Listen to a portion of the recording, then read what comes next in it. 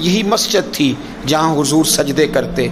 यही मस्जिद थी यहाँ हुजूर उम्मत के लिए दुआएँ करते। और सुनो मेरे भाइयों, रहमत के यहाँ झमेले हैं, क्योंकि हसनैन यहाँ पर खेले हैं।